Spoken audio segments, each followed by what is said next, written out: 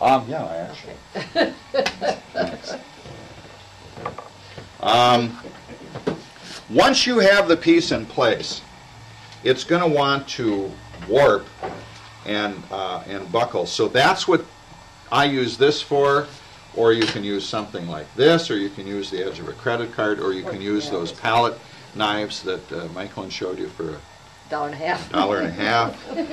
What you need to do is just squeeze out the excess glue, and then uh, any matte medium that you see around the surface will disappear as it, uh, as it dries.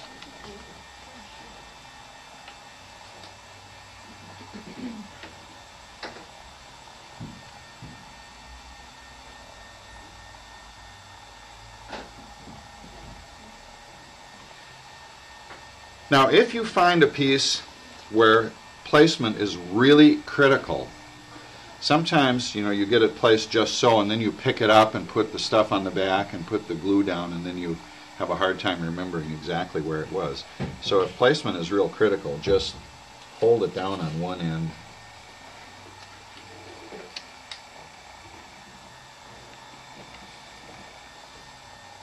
Do it. Well, you get the idea. Do it half at a time. And then don't forget to coat the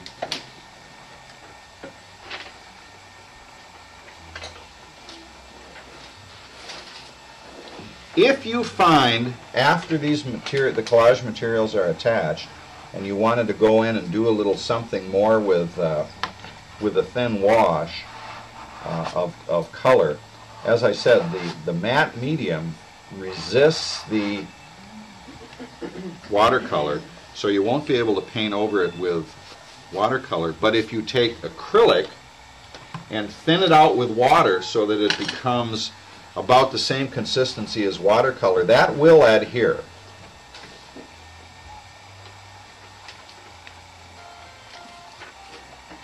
Now for a couple of minutes, you're just going to have to watch me glue here. I noticed you choose smaller pieces. Is there, um, what are you thinking about when you, when you pick your smaller pieces and cut them out? Um, That the big piece is too intrusive? It can be too intrusive, um, but but not necessarily. Not necessarily. The um, I guess the reason I'm inclined to use the smaller pieces is, in my experience, the larger pieces, um, it's harder to get them flat on the surface, and because of that, they tend to read as collage material rather than a, a part of the painting. And I do I do think of this as more an accent than uh, really dramatically changing the painting in any way.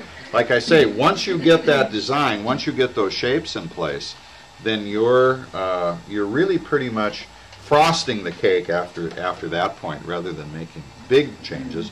However, this is this is your one last opportunity to salvage your white. If you're not happy with the white shape, by cutting out some white pieces, you can redesign that shape uh, by adding by adding white back in, and that that can be quite effective.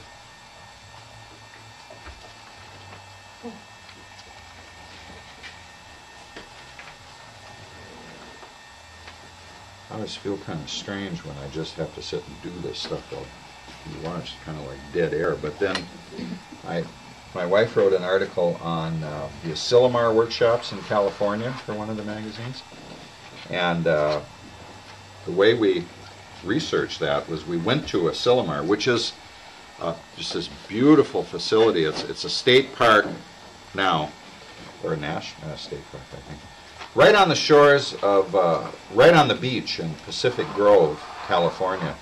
And you know those California cypress trees that you always see in paintings, the trees that sort of bend over and, and mold themselves to the beach, are uh, that's primarily they're located in California, is, is at Sillimer. So we went there and we met with uh, Jane Burnham, who was one of the first instructors at Asilomar. The workshop was run by Jade Fon. It went on for years and years and years. Uh, a lady named Patty Allen, who now runs the Yosemite workshop, who was a student at Asilomar for almost 25 years, and Pam Della, who ran it for the last 17 years it was in existence. And then we, we pulled a couple of couches around the fireplace at night and got a bottle of wine and put the tape recorder on, and then they just told stories from Asilomar. And they were all legendary people in watercolor. They would tell about when, when uh, Robert Wood came and the demonstration he did, and when Milford Zornes was there. And uh, the one story they told that I'll never forget was Jade Fon, a watercolorist who ran the workshop for years, got his daughter to come to a workshop, and she had never uh, painted before, let alone go to a workshop. And she was she was there kind of under duress. She didn't really want to be there. And I believe it was Milford Zornes was the teacher, but I'm, I'm, I, I don't recall for sure. It doesn't matter. Um, for whatever reason, he decided he was not going to demonstrate during the workshop. And everybody really wanted him to, to demonstrate. Um, so he was walking around making his rounds, and, and Jade Fon's daughter had this, had her paper in front of her and was just sitting there staring at it. And he said, What's the problem? She said, I don't have a clue. I don't know what to do. I don't know where to start. And he said, Okay, let me show you. So he sat down at her place and he took her paints and everything and proceeded for about the next hour to do a complete painting. Well, of course, everybody in the workshop that was starving for a demo jumped up and they, they were all standing around in a semicircle watching him demonstrate. And he, so he, he completed this painting and he even signed it. And then he stood up and he said, Jade Fon's daughter, he said, okay. He said, now you give it a try. So she said, okay, and went and took her sponge and wiped out the whole painting. and started over. What an idiot. But the thing that I found out through the res- researching this article is for years the way workshops worked is the artist would gather everybody together in the morning. They would do up to a three hour demo with no talking. You were just, you had the privilege to watch that artist paint. There was no attempt at instruction other than what you could learn from watching. And then the artist said, see ya at 5 o'clock this afternoon for a critique. And then everybody was just on their own for the rest of the day. So given the rich history of watercolor, I shouldn't feel like I have to talk all the time, I guess. But. So give me a minute here to get these glued down, and then I'll show you the next.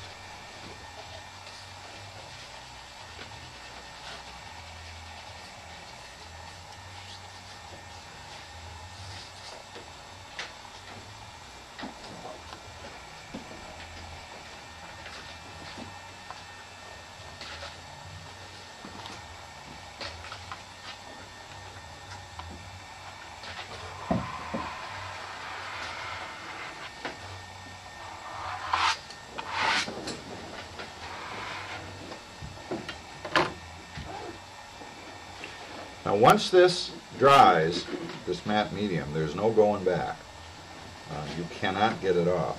Sometimes, if you can catch an edge, you can peel it, and what, what will actually happen is the uh, paper is in two layers. The, the top layer peels off, leaving the bottom layer.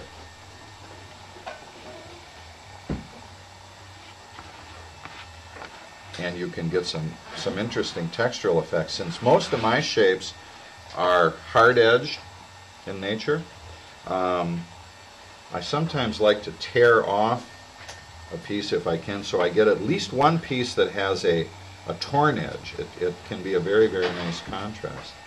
Now, regarding subject matter, the reason I ask you to avoid subject matter is uh, subject matter has content.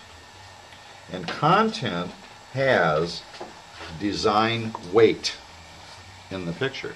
And to, to give you an extreme example of that, let's say in this painting, for whatever reason, I decide I want to put a little red swastika down in this corner, or some other symbol that has you know, universal, powerful imagery, powerful meaning.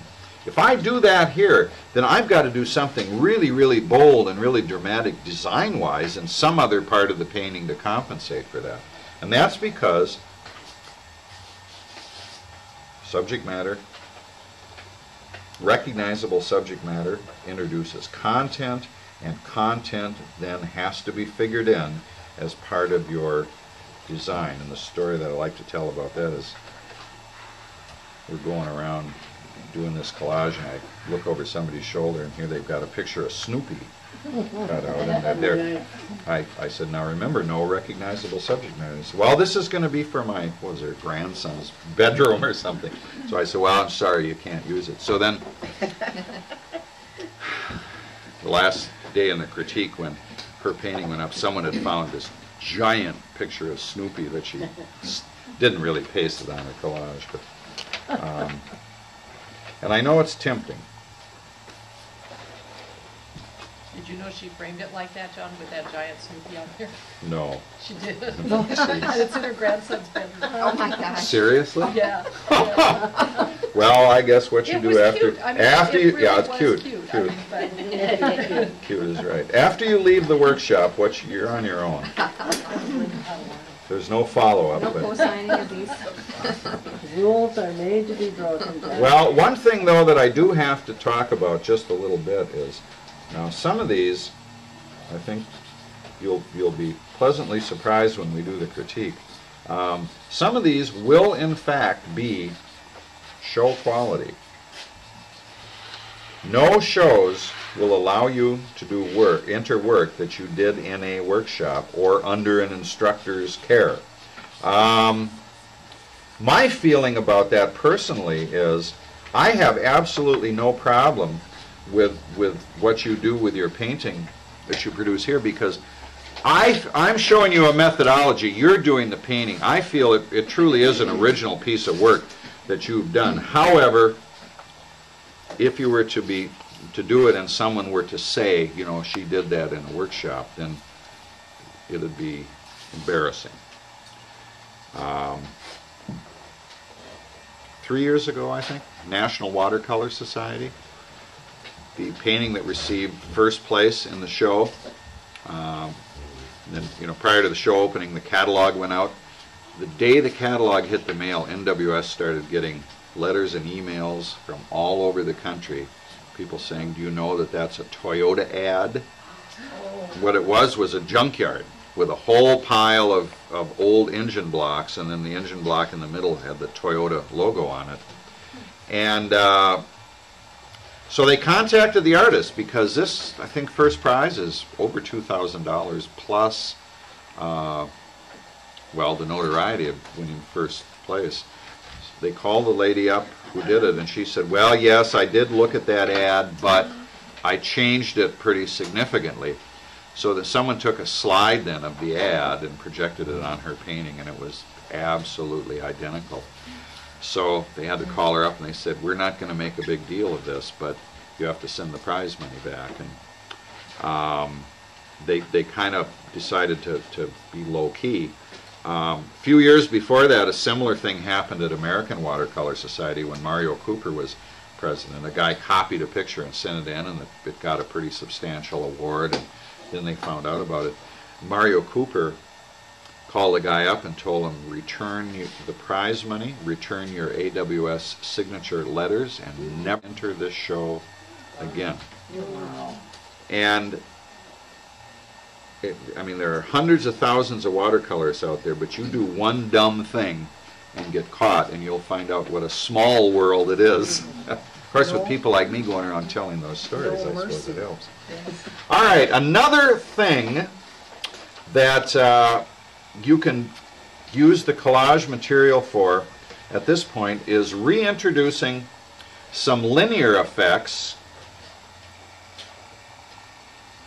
And if you if you have trouble with straight lines, this is this is a pretty effective way to make some some very hard, sharp, straight lines. Just do them using uh, using collage material, How'd you cut that so perfectly?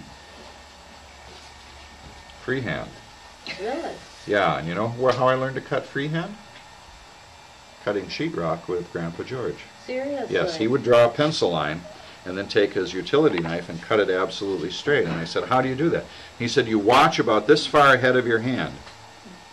You keep your eye on the line significantly ahead of where you're cutting and just make sure your eye keeps moving and your hand will follow your eye perfectly, right on the line. Really? Yep. That's the way, um, people. do Sherry's. Sherry's dad is who I learned that from. Yeah, I suppose, yeah. What was that? I- That's how you Fabric. cut fabric too, when you- you're uh, making garments or quilts or whatever. You don't look at the scissors where it enters the fabric, you look ahead and knead it. Well, when they trained sharpshooters in Vietnam, um, they they trained them with BB guns, and they w- there was a certain place on the stock where you laid your finger that correlated with the sights, and then what you had to do is you had to bring the gun up and point at whatever you wanted to shoot at, and then pull the trigger simultaneously. And they say when you point, you're dead on for the first instance, instant, and that's how they that's how they trained them to shoot. And they got those guys so they could hit another BB in the air with a BB. So Ooh.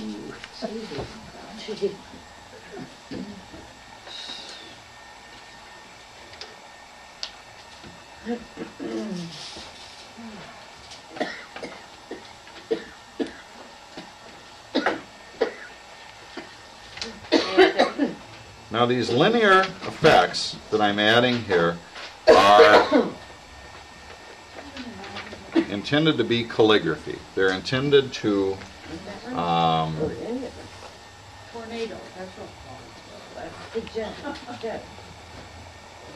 They're intended to just simply be linear effects. They're not meant to necessarily define existing shapes. It's just the calligraphy that we add in at the, at the end.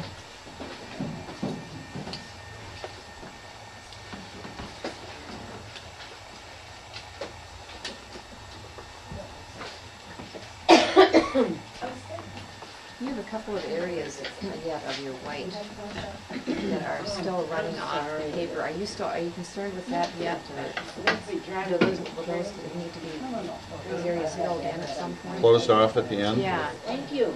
Quite possibly. okay.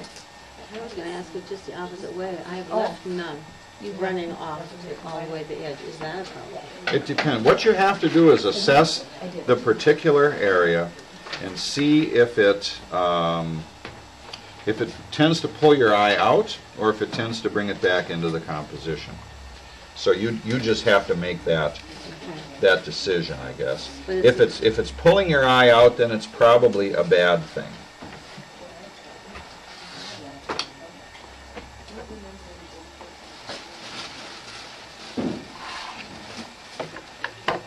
All right.